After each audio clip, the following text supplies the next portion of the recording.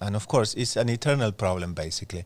How we grapple with the question of suffering and how suffering, many, many times, well, takes away uh, the peace from our soul. And that comes from, uh, um, again, a bad understanding. God is love. Therefore, if God is love, there should be no suffering. Therefore, God doesn't love us. He's a cruel and mean God.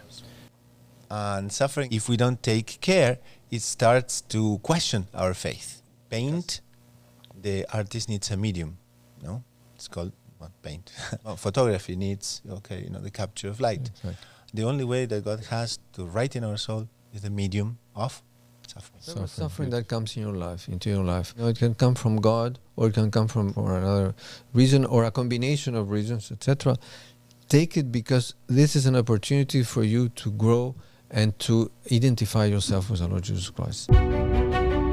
Welcome to Salve Maria, the podcast of the Heralds of the Gospel.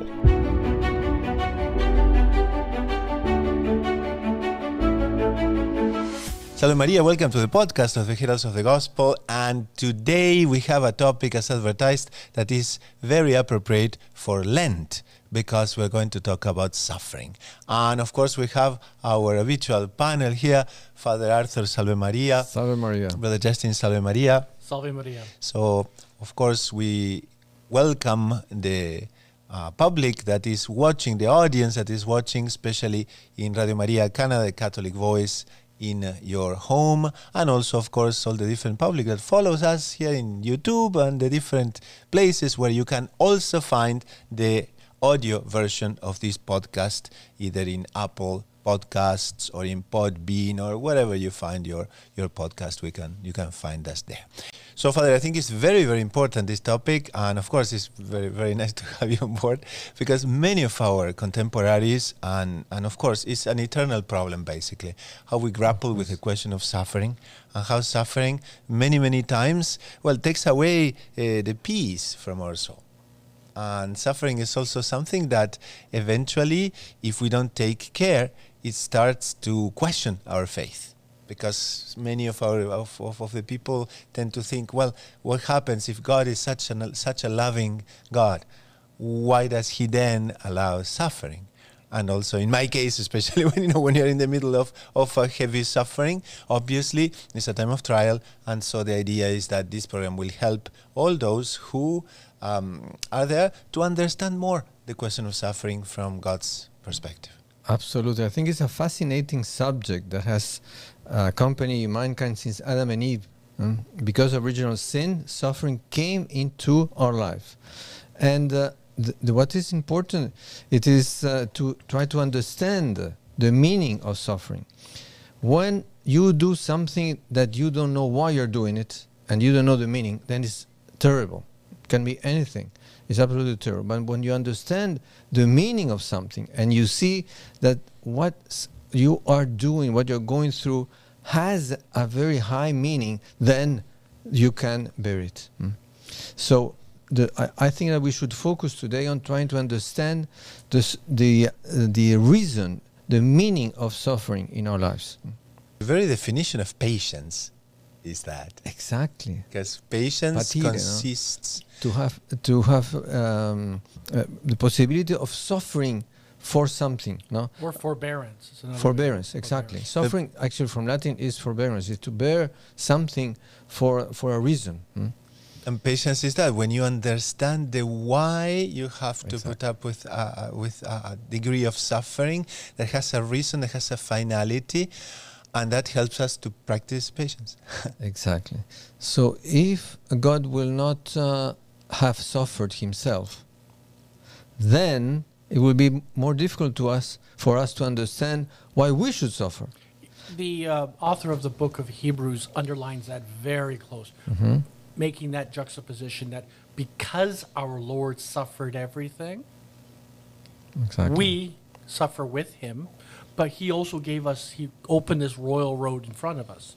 The idea that Jesus didn't suffer is bizarre. It's not true, but that's very important. It was very clear within the early church. So the book of, the of Hebrews has that very clear. And it's nice because when you suffer, you suffer in two dimensions. You suffer for you and you suffer for the others. hmm? Our Lord Jesus Christ he obviously suffered for the others. He suffered for us. But we can ask ourselves, you know, if uh, he uh, would have tried to find a way of giving more glory to his father, of doing something more for his father, what will he do? Maybe to suffer.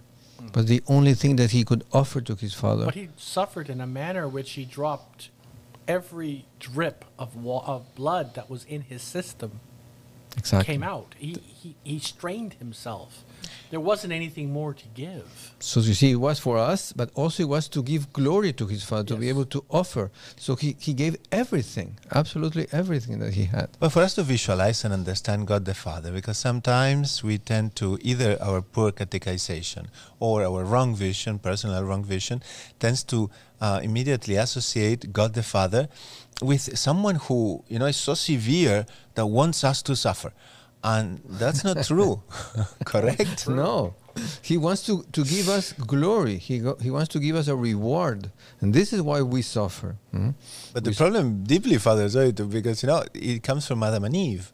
I mean, Exactly. God didn't want suffering on earth, No. but Adam and Eve opened the door to suffering, right? Willing to be eternal. Now they just opened the door to uh, the contrary, you know, of finite things, and then they, they close the door to eternity.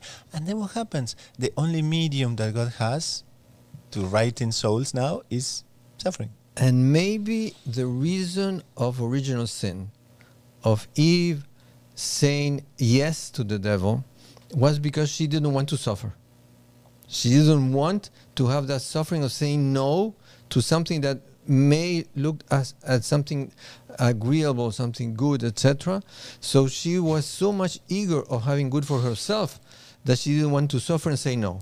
was uh, was in the So- Genesis was the fear of missing out phenomena that was already present in the in the Genesis. Exactly. In Genesis. Exactly. So the, the, Interesting. the, the Mm. first sin was a sin against suffering. mm. The first sin was somebody who didn't say, No, I don't want to suffer. I want to, to have what the devil wants to give me also. Listen, there's also a problem, and that comes from, uh, um, again, a bad understanding, um, which is the um, idea that God is love. Therefore, if God is love, there should be no suffering.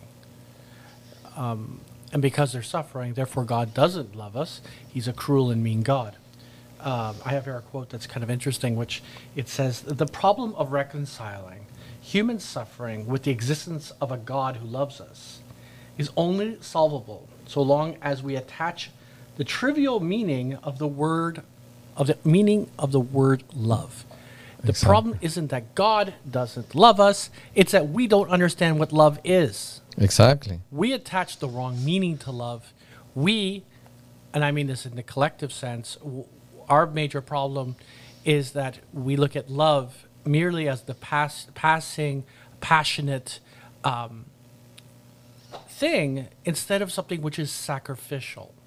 We don't see it as something we have to give and suffer through. We see it as something that we take and we receive.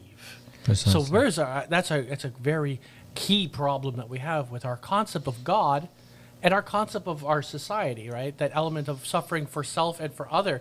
That means I've got to suffer for someone, and that I, that I'm not interested in. I want to have joy and happiness my whole life, and I'm not suffering. There's no cross in my world. When we talk about brokenness, no, this is also another broken aspect in our in our lives after original sin. Right, the the real notion of love is broken too. Of course, exactly. So the way that you can prove that you love is by suffering. The proof that you can give. So uh, God allowing suffering in our, our lives is giving us the opportunity to us for us to prove that we love Him and the others. That we and, and ourselves also, because we suffer also for our sanctification, and we suffer for the good of the others. If we, if uh, there will be no suffering in life, then you know there will be no charity, no nothing. Everybody will be just uh, looking after himself, and and the others, you know, that that's uh, something else that they want to know. Mm.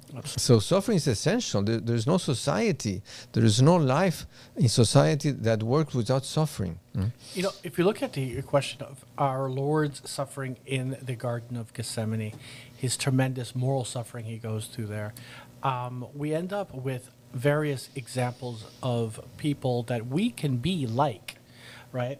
Um, we can be a character like our Lord, who suffers, you know, sweating blood to the last drop. We can be John, who in front of that suffering ran away, naked. Exactly. We can be Peter, impulsive, but when it really counts, we flee the Lord. We could be Judas, who inflicts that pain, Exactly. right? And those elements, those characters, we should reflect on ourselves and ask how many times in our lives have I been like a John to my neighbor or to the Lord, hopefully not, but um, a Judas, a Peter, or what have you.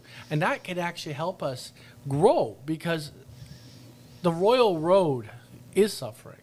Precisely. So, as our founder says, that suffer you have to suffer. Now, you can suffer in two ways: or you suffer with love, or you suffer without love.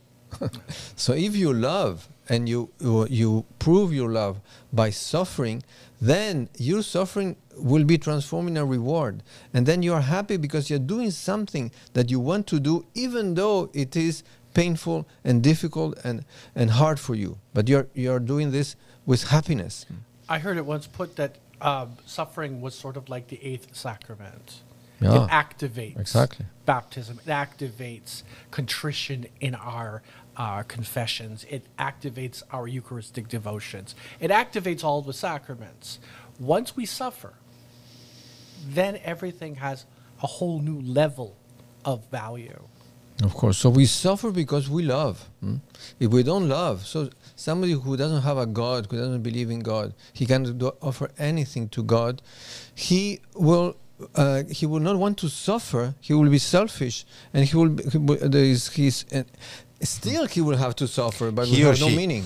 He or she. Yes. Sorry, but you know it's applicable. it's inclusive, it's inclu- because it's everyone inclusive because we No, of also have Our Lady, and Our Lady, she you know she's also a model of suffering when it comes now yes. to There's it. ano- Exactly. Yeah, there's another problem with love, which is that if God is love, he is by definition something more than mere kindness. We don't understand love. We look at kindness, we look at it as kindness, we look at it as good manners, being well behaved. But is that really love? Just because you're nice, is that love? And I think that goes back to what we were talking about before, which is that the core problem in this problem of pain is we don't understand what love is. Mm-hmm, And that love hurts. Of course, no. Of course, if it doesn't hurt, it's not real love, because you're not giving anything. But what we're talking about is also impossible without the grace of God, right, Father? Because uh, when we talk about the gifts of the Holy Spirit, right, that are so deep and profound, I mean, it's completely superhuman or beyond humanity to accept suffering unless God gives us these phenomenal gifts, no, which are piety, fortitude, eh, even wisdom, uh, uh, and all those are super important. And we need to ask God for those gifts because otherwise we may also look like those ancient Greeks, you know, the Stoics. Okay, let's go and put up with suffering. Uh, yeah, but the the really um, Christian meaning. Of course, because then you're suffering for the love of yourself. You want to prove yourself you're able to, to do more than the others. No, this is not uh, love. Monsignor St. Cloud always quotes Musio Scevola. No? Yeah, for, for those who are not familiar with his story, he was a Roman officer and he falls prisoner, and so he stands in front of the other pagan emperor or whatever, and then he goes and says, Look, and then he puts his hand right on the fire and lets it burn, right? And says, Rome has many more officers than myself. Exactly. But he, he, he lets literally his uh, um, his hand His arm, burn and doesn't move anything and then unflinching you know just just goes that's a way of suffering but i don't think it has anything to do with gaining heaven No, of course not. Is is suffering just to to show that he's proud and that um, that that he believes in himself. the glorification of will but you know what's interesting is that you're saying Stoicism, which had a lot of impact on the early Christians, but one that was uh, that was terrible was Epicurus. Yeah. Epicurus, his whole idea was that we have to avoid suffering, cost what it may. Exactly. And what is fascinating about Epicurus is that we look at Epicurean or Epicurus as the fine dining and, The foodies. and foodies, what have you. But that's not what he wanted. He said avoid pain at all costs. So you don't get involved in politics because there's pain. Mm-hmm. You don't eat too much because that could cause indigestion. You don't eat too little because that can will cause pain. Anything. And it got to such a point, his successors, his followers, that they would avoid marriage because children would cause pain. Of course. But this is the antithesis of a Christian life to flee the cross at every opportunity. Absolutely. conceivable. Absolutely. No, our society is full of uh, of that. no? I mean, people run away from suffering because they think that in itself suffering is is bad. And openly, Christianity and especially Catholicism, when well, when well, uh, what lived and practiced, is becoming completely countercultural. Of course. Exactly. Father, I would propose that we go for a little uh, pause here for some uh, announcements, commercials, things that we always are, are announcing here in the, in the channel, and then we come back with the notion and perspective of the saints about suffering, because there are many schools about suffering here. And you know, you have Padre Pio, you have Saint John of the Cross, you have all kinds of saints. And stay until the end because this is very, very important, and it's going to help you not only to improve your Lent, but also to understand suffering in a better manner. So we go back. We come back in a moment. Salve Maria. I'm Father Ryan Murphy of the Heralds of the Gospel, and I'm delighted to extend an invitation to each and every one of you. In the midst of our busy lives, it's crucial to take a moment of reflection, of solace, and of prayer. That's why I would like to personally invite you to join us every day at 3 p.m. for a special and powerful devotion, the Divine Mercy Chaplet. The Divine Mercy Chaplet is a beautiful prayer that embodies the boundless compassion of our Lord. It's a time to come together as a community, regardless of where we are, and lift up our intentions, our hopes, and even our burdens to the heart of Jesus. Imagine all around the world, countless voices uniting in prayer at this very hour. It's a moment of connection, of spiritual unity, and of seeking God's mercy in a troubled world. So mark your calendars, set your alarms, and make a commitment to join us each day at 3 p.m. Tune in and experience the transformative power of the Divine Mercy Chaplet. Let this be a sanctuary of peace amidst the noise of life. And thank you for being a part of our Heralds Canada YouTube channel.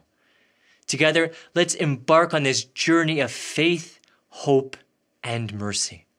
I'm looking forward to praying with you every day at 3 p.m. May God's love and mercy shine upon you always. And until we meet again, may Almighty God bless you, the Father, and the Son, and the Holy Spirit. Amen. So we're back here with the question of suffering, and so Father, you were going to explain to us a little bit more about uh, uh, how to suffer properly, right? Well, let's take an example. Let, let's take the case, uh, uh, um, sublime case, which is the Calvary. hmm? Uh, at that moment, there were three people suffering. Our Lord Jesus Christ was on the cross in the center, and he had a thief on one side and another thief on the on the other. The three were suffering. hmm? But the meaning of their suffering was completely different, and the the the um, the usefulness of the suffering was completely different one from the other, because Jesus Christ was suffering for the good of mankind. He was offering himself in order to pay our debts. We had a debt, somebody had to pay it, and he said, This is me, I'm going to pay the debt.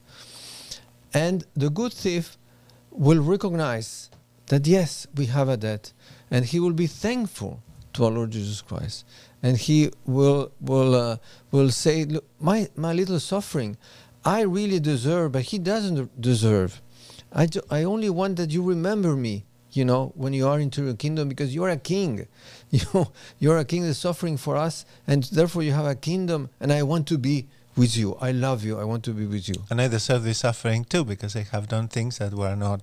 he accepted the suffering in his life and he offered and he died happily he because our Lord Jesus Christ told him, "Look, you're going to be today with me in paradise." So you know, he was the the happiest man on earth. Nevertheless, he was the one who was suffering terribly. Hmm.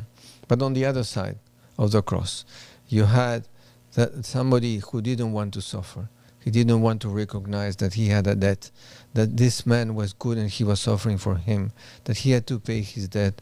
He didn't want to recognize anything. He just wanted to enjoy life. And now this is happening to him. and he- Tragedy. tragedy. He It wasn't doesn't. his fault. no, it wasn't his fault. He doesn't understand why. Never his fault. Exactly. He never Who is- did anything that could Anything eventually wrong? end up On He on was a good this. person. A- And he's suffering like this. Why? What an injustice. It's absolutely. God They is found- guilty. They found him with blood dripping off his hands and a knife there, but still, it was total Nope. injustice. and maybe wherever he is, no, but No, he had a good heart. he had a good. uh, so he um, he didn't want to open himself to to understand that uh, there was a, a reason, and instead of dying in this terrible. Um, uh, Distress and revolt. revolt and uh, confusion and uh, meaningless of his suffering. Nihilist. Yeah, It's a nihilist, nihilist complete situation. nihilist, exactly. Complete darkness, complete, Complete darkness, materialism. It's terrible. And, and he's dying, and he was really dying. hmm? And our Lord Jesus Christ didn't say anything to him. What he was also cursing our Lord. Exactly, His he last was. words were curses He was. against our Lord. He our was. Lord doesn't respond. Doesn't respond. Silence. Which is beautiful. It's the last act of charity of our Lord, you know. He didn't make it worse. It didn't make it worse because he could, could have have him. cursed you know. him. Imagine Christ on the cross cursing him to eternal flames. Right there, bang. Exactly. lost. So, so this man is n- not saying anything. He's he's not uh, um, uh, condemning me. mm.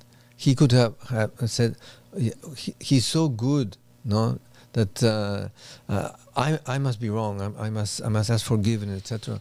But he, he didn't want to ask forgiveness. On a side note, uh, we have to also to re- recall what historians explain about the crucifixion, because for a Roman citizen, the word cross and crucifixion, it was out of the language, because it was such a horrendous mm, Suffering. death, a kind of death, that any Roman citizen would not even pronounce the word cross because it was associated with things that, of course, in 2000 years of Christianity, we are somehow habituated to, to see Well, we our have Lord in the cross. crosses on top of, of crowns and churches and Mhm, buildings. Of course. But at that time, no.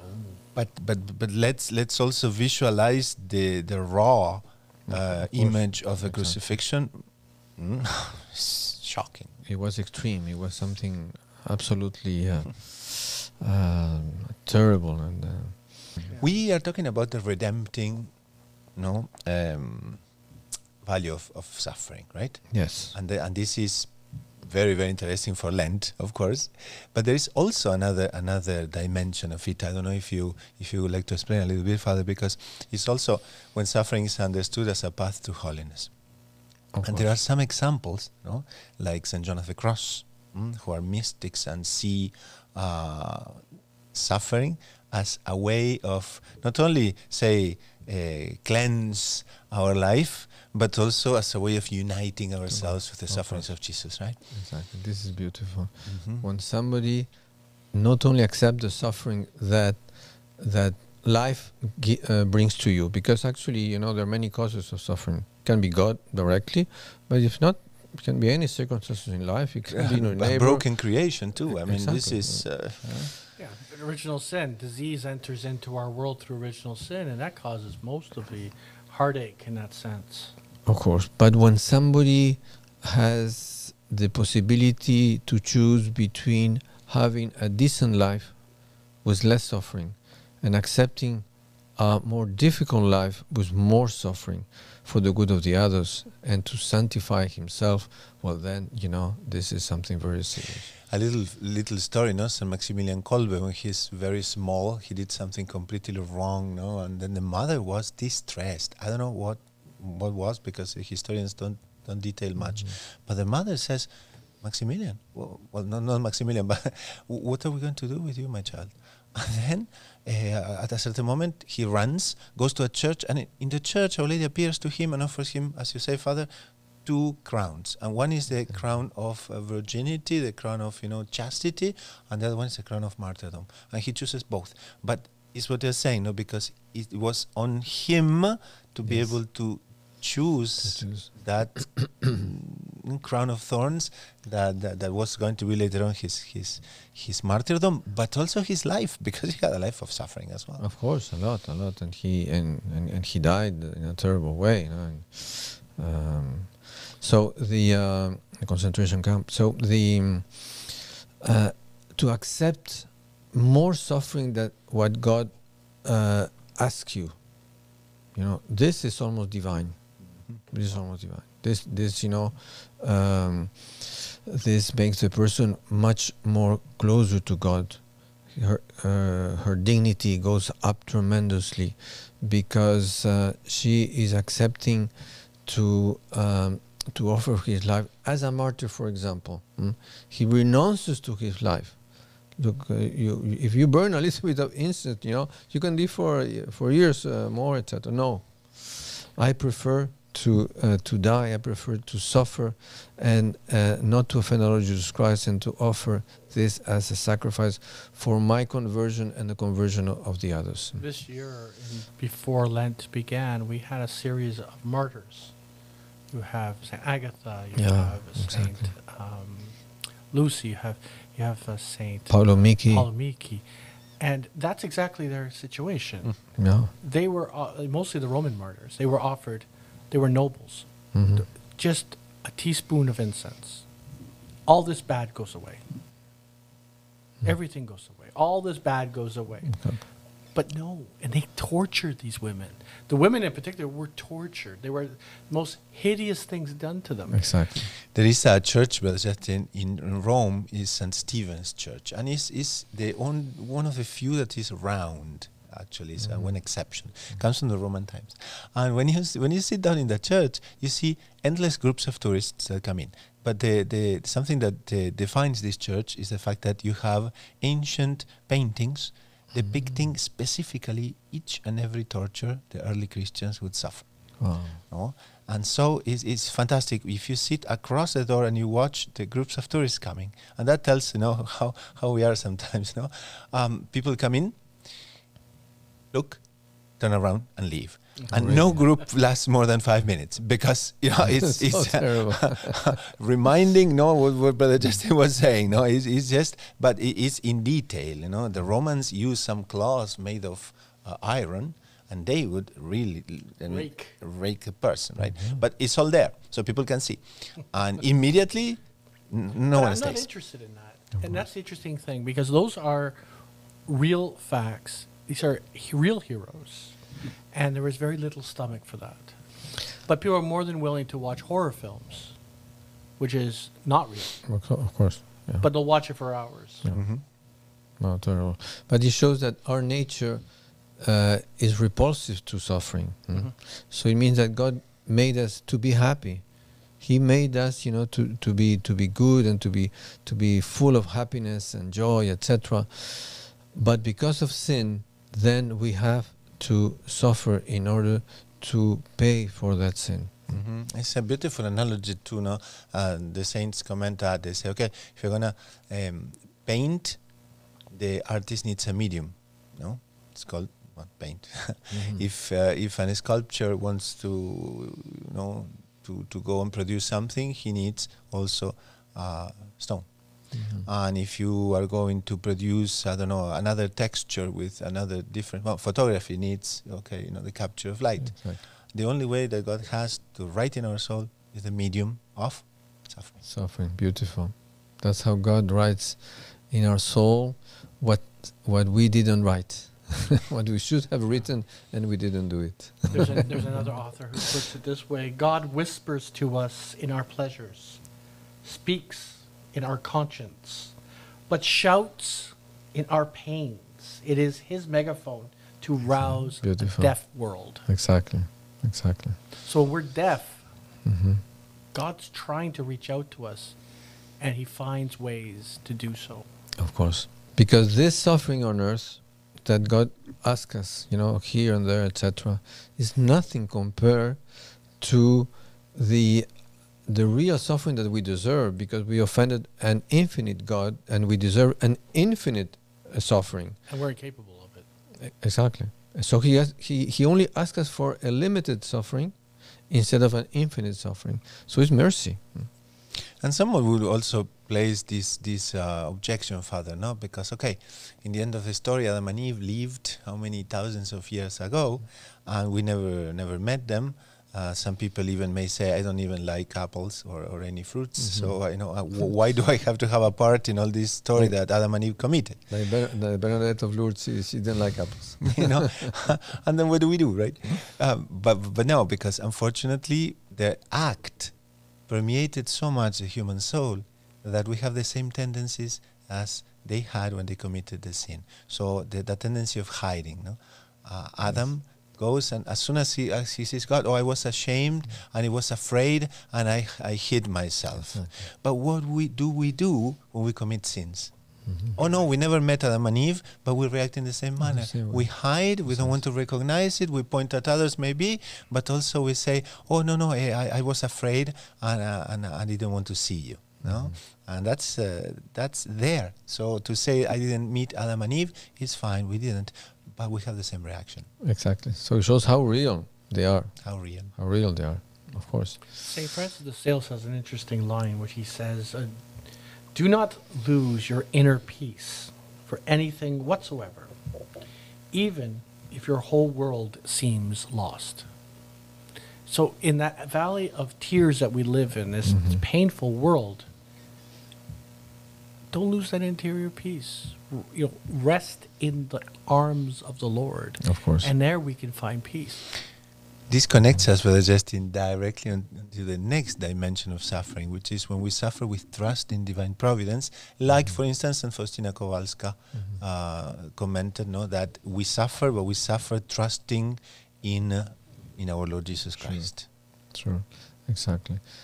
So, uh, the, the Psalm, no, David, that regardless wherever you are, you can be in the in the uh, profundity of the valley of suffering, I will still trust in God because I know that uh, He is love and He's going to take me out of this. It's interesting is that that was written right after he lost his son as a punishment for his sin. Yeah. It's interesting because a lot of people think, of, oh, he must have written that when he was at the peak of his happiness. No, he was in a very deep, dark Of course. uh, point of suffering, and he shows his absolute trust in God. That's wonderful. Father, can we recommend people during Lent to read the Psalms, Of course. the penitential That's- Psalms? The, the, the Psalm 50, 51 no? of of David is beautiful. If you if you analyze, you know, uh, phrase by phrase, it's so, so profound. You know, it's uh, Because he's someone who sinned, and he's Yeah. someone who knows and that it's, ve- he was very wrong. human. The, the psalm is very human, so it really applies to you. Um, I sin, my sin is in front of me. You know, my conscience tells me, etc. But then you come and you, you make me more whi- whiter than than the uh, uh, than the Snow. snow, etc. So it's, it's it's fantastic. Another one also is interesting if you look at it. It's Isaiah, the sorrowful, the sorrowful servant, the prophecies about the the suffering of our Lord Jesus Christ. Um, th- those aspects, how he was going to be beaten and, and, and flogged and tr- mistreated. Because a lot of times we think, no, I'm good, therefore everything should be fantastic. No, it's because you are good, maybe, that you're going to follow the ro- the royal road that Jesus followed, hmm Exactly. through all the way to Calvary. You want to imitate him? Then accept suffering. So simple, no? So we shouldn't be overwhelmed and actually No. anguished by suffering. Of course. It's uh, whatever suffering that comes in your life, into your life, take it naturally. Take it, you know, it can come from God or it can come from some for another reason or a combination of reasons, etc. Take it because this is an opportunity for you to grow and to identify yourself with the Lord Jesus Christ. And He will make this suffering uh, be transformed in a tremendous reward this uh, will give you uh, peace. It will give you uh, tranquility of uh, of soul in any circumstance in which you, you may be. Mm. And we know that people are watching us, and maybe some are in a tremendous uh, difficulties. Some maybe you know, or just lost somebody very very dear in their lives, or something is going wrong, or their children they're, they're taking bad direction, etc., and they're suffering because of this. So well, trust, offer this suffering, and uh, and offer it up, no, and um, that our Lord will transform this suffering in a great blessing to you. So with this, we can give our, our blessing to all our audience. The Lord be with you, And with your spirit. and may Almighty God bless you, the Father, the Son, and the Holy Spirit. Amen.